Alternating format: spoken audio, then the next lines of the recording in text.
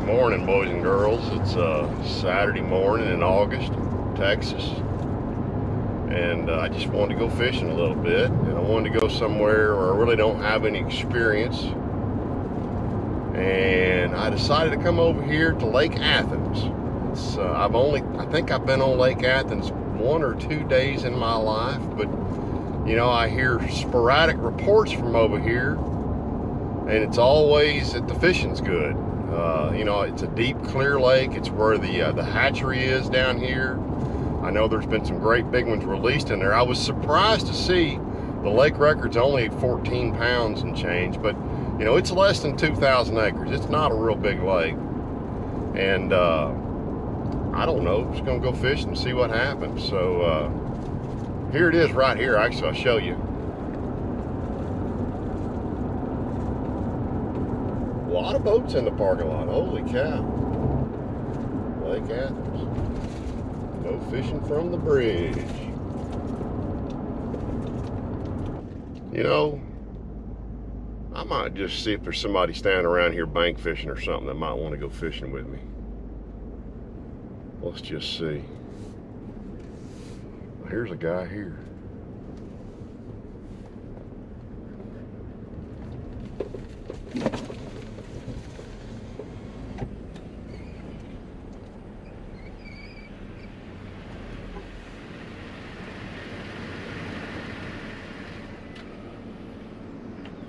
Hey, you looking to go fishing? You know anybody that's got a boat? I got one. I'm by myself. Do you? Well, hey, need a rider? Good morning, Ken. Check out the uh, the bream bed right there in front of the boat. And Kelly just said something to me I did not know because I made a comment. Well, you can see them right there. You can see the fish moving on top of those. And I said I can't imagine they're spawning. But what did you just say? Uh, these are bluegill, and they are on their bed, and uh, they spawn all summer. That's why bluegill are such great forage fish, especially in ponds and lakes, because they spawn all summer. Whereas like shell crackers and green sunfish, whatever, spawn one time and are done, kind of like bass. Uh huh. Bluegill will stay on their beds all summer long. So they just reproduce They and spawn reproduce. and spawn and spawn. That's why everybody says to stock bluegill in your ponds. Everybody stocks the copper nose because they're bigger. They're like Florida strain Mhm. bluegill. But bluegill are such a great bass forage because they're very prolific and they spawn all summer. And you find a bed like that, that is better than a brush pile. And that's actually pretty dang deep. We're sitting Yeah. in 10 feet of water and it's to our yeah, right. there's going to be a. We might catch them. Megalodon off that. I better throw something over there on top of that. Yeah.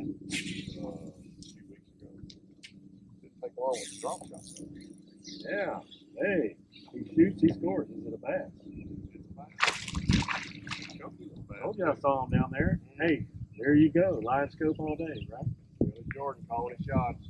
No, I called your shot. I said, hey, Ken, this fish right there. This one thinks he's full grown.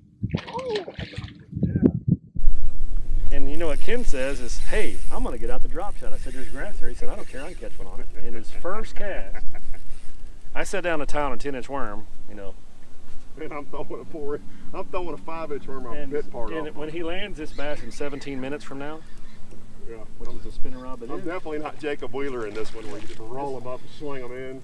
Hey, but it's pretty fun though. Oh, I love it. I there's, love getting there's several. Maybe I guess this water they just drop down in this ditch right here. That's what you know, typical. We know how that goes down. We've seen that about five billion times, right? a whole bunch of times. That's what they do. Hey, what, this little fish is not giving up. Well, these fish are like Lake Fork. These fish used to be. They fight and fight and fight. Well, these fish aren't tired of getting caught like the ones at Rayburn. This guy here, he's like, man, I ain't been caught in three years. They get a lot of pressure here too, but they have a tremendous population. Let's see if I can do this. Nice little chunk. I mean, This camera's about to die up here, but that is a solid little old, what'd you call that, three and a half? Oh yeah, solid three and a half, maybe a little more than that. Good fish. A little dropping chop fish, yeah. Got a little spot on his tail. Pretty fish. summertime sore. Summertime grass fish on Lake Athens. Too much fun. Kelly actually called the shot on that. Uh, so this is a flat. It's a big flat. It's got pads on either side of it. And these guys who have put this, I don't know, $30,000 boat dock, you think? Minimum. they came in here and they're doing another one right over here. They've dug a channel out to their dock. So through this five foot fat flat, we're sitting in an eight foot channel. And Kelly saw a fish moving on top of the grass out here, which is, what do you think that grass probably is? Milfoil or you think that's? And I picked up my little drop shot and thunk thunk. Too much fun. Oh yeah, yeah, high school. It's died down because they all would, you know, mamas would call. My son's the next Kevin VanDam. Like, uh, ma'am, fish on. Ooh. Oh, you're a frog and you're staying in the ditch, which is where I should be, but I picked up scratch. Front ending an FL or MFL Pro. Thank you very much. I had just missed one. Oops, camera's messed up. I had just missed one back there. Ate your tail off. Ate my tail off, but the other, I saw that fish back there. It was a two plus pound fish, but that's just another quality fish, and we are 40 yards from where I caught that last fish. Now, that one came on a little swimming bait with a swing head, swing spinner. I actually heard that fish say, gimme, gimme, gimme. Did you hear that? Right before he got it, he said, gimme, gimme, gimme, gimme. Hold down, save us from the seawall. I'll be banging my mercury on the seawall back here. I'm not done. I'm Kelly Jordan. save Save my mercury, honey. Man, and I'm still trying to force feed one of this frog. I'm like, come on, babies. I haven't even had a. I don't even think I've had a dragonfly try to land on my frog. That's bad. That's off. That's off frog fishing when the dragonflies won't get on it. I know. I'm about to have to retire the frog. No dirt dauber action, nothing. Not even a swirl. No, he, Uh-oh. no, you don't know the story.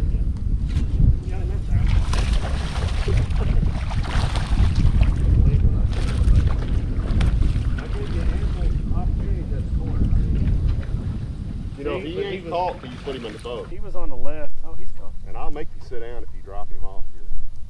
Maybe I'll just release him so you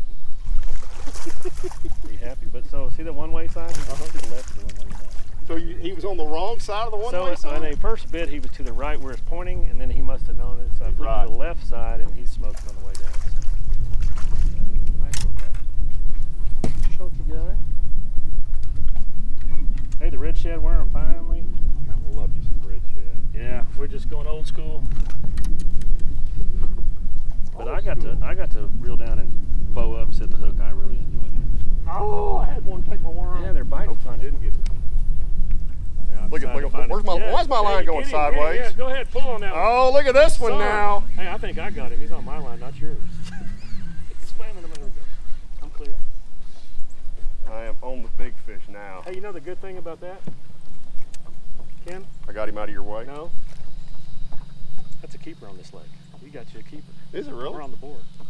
Is this a slot? Slot lake. Oh, golly. Oh, that's too many. You gotta sit down. Gotta sit down. Hey, I better hurry up. I guess if you're- Ken's in the penalty if you're fishing with one of the Yeah, guys who runs Major minutes. League You- Fishing, You gotta sit down. You can't rehook your bait or anything. All you just right. gotta sit down and shut up. so here's my well, you question. don't have to shut up. Here's my Major League question rules. if you're in your break, Oh man, there's a school. That must be the one you just had. if you're in your two minutes, can you pee? Did you get my tail? No. Uh, no. What do you really, really got to go? If you well, Can you delay your go two minutes? They would stop the deal and then they'd restart again. I mean, you can't do anything that see because that would be giving you an advantage because it would take time out of your normal fishing time that you would do that. See what I'm saying? Like drinking water, getting Yeah. a snack, tying a bait on. So you can't even drink water while you're sitting there? Damn, y'all are cold. Hey man, That's hardcore.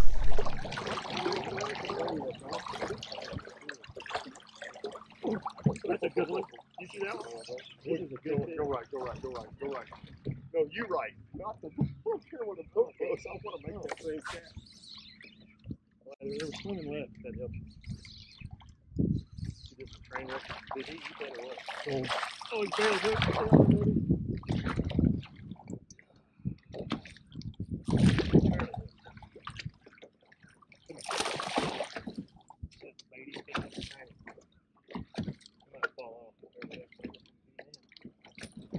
Chump. Mm. What a beauty. Georgian out here. Show the back camera. Look at the belly on I that know this is an August fish. That fish is eating good. He eating like me. I think he's eating better than you, Cam. Yeah, no doubt. Coming up behind you. Yeah, you're right there. Oh,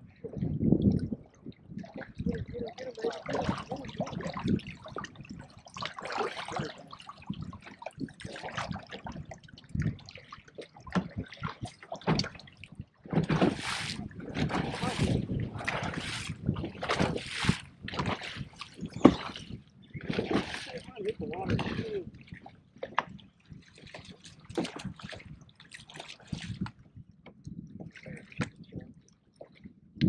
Look at how fast. Whoa, it almost got me. They still coming? Jump. Got it. You know what that is right there, ladies and gentlemen? Or because he said if I caught one on that fish, he'd give me a dollar. Yeah, I do. I'll get a dollar. Woo! I'm gonna frame that dollar bill. I'll sign it for you and that's it. Will you, sign it, boy? Ducky?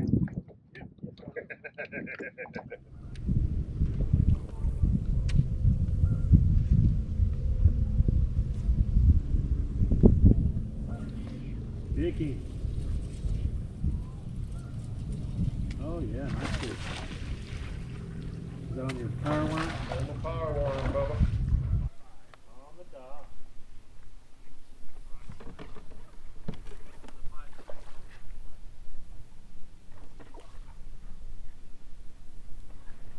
How close are you to the dock? Right up against it. The fish is probably under it and come out. That may be a five pounder. Yeah, that's a good one. Way to go.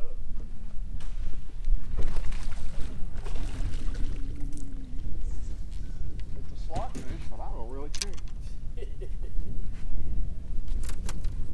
I don't really care. That's a nice one. Boy, it's a nice, healthy summer fish. I mean, there's nothing unhealthy. That fish is every bit of five pounds. Legs full on like that. Golly. Worm went down there and it went to tunk. That's the best. I saw you go on point, reel down and set the hook. That's the best. Dude. What frog are you throwing? 6th Sense. All I throw anymore. Hmm. Unless I throw- He doesn't make them. All of his frogs are poppers right now.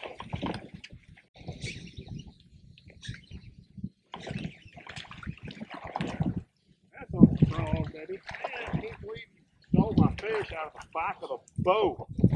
Oh, look out. Oh, that's two minutes. That was incidental tail touch. Incidental, nothing. You one hopping. Everybody home. Y'all be the judge, but I'm pretty sure you're gonna try to claim big fish, aren't you? Y'all be the judge.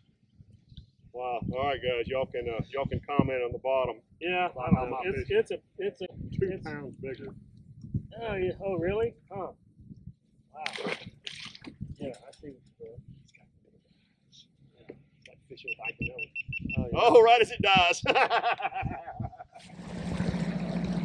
All right, boys. So, uh, Mr. Jordan took me out to try to catch some of his pets today. Yeah, we tried to run the school of bass. We really didn't catch them very good. I mean, we were laughing. We probably had best five, and we, we probably pushed 20 pounds. Yeah, but yeah, for the expectations out here when they go, and then the amount of fish that we saw schooling. Yeah. We had one group, and I, I don't think we got it on camera. We had one group come up. There were 40 or 50 fish for 30 seconds. We weren't ready. It was the first group of fish we saw. They were all two to I don't know how big. I mean, there were some five and six pounders in Yes, them. absolutely. And when I say schooling, I mean knocking, jumping out of the water, acting stupid schooling. Whole fish coming out. Of the Yeah, water. yeah. So we're going to do this again. You think, so we had a bunch of rain, four or five inches of rain Two days ago. two days ago. The lake, you can see the lake is full completely to the brim. It's right up to the bottom of the boat docks. You'll see that on some of the footage you saw a minute ago. But There's a lot more color in the main lake. Some of the areas were downright, you know, dirty, and the and the visibility for those schooling fish, you know, the more visibility, the better. And the, we went to the back of some of the pockets and some of the creeks, and they were very off color. So it just you know it takes a little while, a couple days, you know, maybe a week to settle down, and when it does, it's lights out. But uh, it's it's one of the better lakes to fish in the early fall, like in September and early October, when everywhere else is you know really fishing tough. Lake Athens is still a fun place to fish, and they usually school like crazy. You just chase them around. It's like white bass fishing, except way more fun and a lot bigger fish. Yeah, we'll do this again. Hey, walk the guys through. We were talking earlier because I don't know. So, with Major League Fishing, Bass Pro Tour's on top, and next year or this year there's 76 guys, On the Bass Pro Tour? Yes. and then four guys who get to qualify for each tournament from a prior Pro Circuit event. Pro Circuit what we event. did this year. So, Pro Circuit event is the old FLW Tour, Yes, and that's going to be limited to what 150? You think next year? I think so. Yeah. Okay, so you go BFLs, you can get, which pr- pretty much you can get the Toyota Series. Yep. Anybody can. Top, Five out of each division, I believe, right? from each Toyota division qualify for the Pro Circuit. And then uh, requalifiers from the Pro Circuit. So the way it all meshes up, there's a lot of, I think maybe only 70 automatically requalify, or maybe 75 from the Pro Circuit next year. Then you have, I think, seven divisions of five, so that's 35 from the uh, Toyota Series. And then there's places for the Bass Pro Tour, um, guys to fish. Because those guys can drop down and fish if they yeah, want to. absolutely, because it qualifies for them. It's kind of like fishing opens if you Right. fish the Elite Yep. Series, same Yep. In case you don't make it Right. the next year, or But- you're just trying to win a little extra Yeah, money. and that's the way it is on the on the on the piece of paper. But you know, typically there's a lot of declines. Maybe not all the Toyota guys come up. You don't ever know what's going to fall out. To Well, you had two or three guys out on medical leave this year, right? Yes. Yeah. So, you know, it's hard to say, but yeah, that's how it works. And then the top ten in the pro circuit every year uh, qualify for the Bass Pro Tour. And one of our, we were talking as we fished today. One of both of our good buddies, Jim Tutt, just, just barely missed qualifying. He was in there, and I was like, my goodness, he's in like sixth place, and then he just- had uh, a medium last tournament, and he got passed bad. And yeah. I just hurt because Jim is such a great guy. Well, you know, I, and I'm gonna I'm gonna brag on him a little bit. We uh, we talked two years ago when he was trying to qualify for the Forrest Wood Cup, and we we talked quite a bit. And he told me the other day this made a difference to him. I climbed on him and I said, "Why are you trying to make the FLW Cup?" He goes, "What do you mean?" And I said, "You're a way better fisherman than that." I said, "You should be trying to win Angler of the Year." And he said he kind of took that to heart and kind of started thinking about it and started thinking about how he used to think about fishing versus how he does now. And he said, I, he, he told me, he said, I got to credit you with that. He made me kind of stop, step back and think, Well, whatever you did work, he had a great year. you got to set your season. goals for what you really want. Absolutely. You can't settle for your goals. And Jim's way too good a fisherman to be trying to make top 40. He's Yeah. try- he should be trying to win Angler of the Year. So I was proud of him, and I think he'll do even better next year. Absolutely. He also said, interesting to me, you guys cut him to two days of practice. And he said he feels like he fished better because it made him fish more instinctively. yeah. Welcome to our world. There's Yeah. a lot of guys that want seriously want no practice Andy. Because they get in trouble. They find something, and you know, and relating to you know people at home that that fish weekend tournaments. You know, how many times have you fished a weekend tournament? You go practice the weekend before. Man, I'm on them, and that's what you have to go by the following Saturday, and you catch nothing, and you wonder what the heck happened. Did they move? If you hadn't fished at all, you surely would have done better than you did.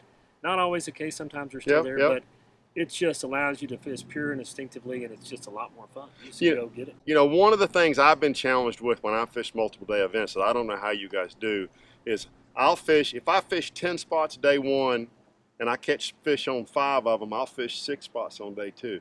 And I don't expand, and that's the key to that. And, and that's part of that practice thing, too, right? I mean, you wind up sitting protecting a spot in practice when you should just keep practicing. Yeah, and you know, there's no trying. You know, there's no set answer, but the answer is what the answer should have been at the end, if that makes sense. You never know. It's best just to do the best you can, move as much as you can, and you still have to make decisions. And that's why we always say in pro fishing, it's all about the decisions you make. 100% about 100% about your decisions. You know when you made a bad one. And then on the multiple day events at the end of the tournament, the guys who rise to the top, you talk to them all, and they're like, man, I really have them dialed in right now because they have fished them hard every day, which you don't do in practice. Right. You figure Or out you shouldn't. exactly why they're doing what they're doing and whatever. And that's how guys continue continually make adjustments. And that's how come sometimes in the finals of an event, you see guys just forevermore whack them because they have them dialed. Yeah. And then hey, it goes away sometimes too, and the guys are too hard headed to move.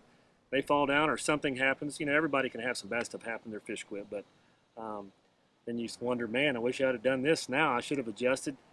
Just like poker too, you got to know when to hold them and you got to know when to fold. That's right. So that's uh, put that all in a box, shake it up, and that's how you you know hopefully make the best decisions you can make. And uh, all boils down to catching the most fish and having the most fun doing it, and that's where success comes from. Well, I had a ball today, and I will say, the highlight of the day was my fish tacos at lunch. There's a restaurant right there called the Boathouse, and he and actually your wife was going to come join us, and you told me he said, "Wait, you're going to love this place." yes, it's fantastic. We Yeah. had ceviche for lunch. I don't even know if I said that right. I don't either, but it's really good. It's shrimp and some other stuff. Golly, and it was some so good. kind of it's uh, and you can pull your boat right up to the shoreline, walk right up there, and there you go. It's a Yeah, great, great yeah. break for See the boat in the water. It was nice. So, well, I'm so glad Kelly and I reconnected. We had not been around each other. We actually bumped into each other at the Bass Cat, uh, Owners- uh, not the owners, the, the dealer, dealer, dealer, meeting. Excuse me. And so uh, you guys are going to see Kelly with me out here again. We're going to come back here.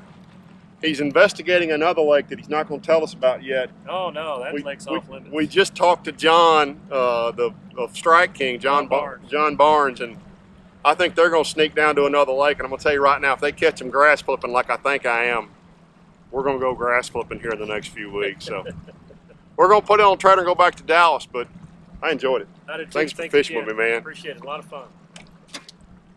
Let's see if we've ever between us, we should be able to get a boat on a trailer. I think. I hope so.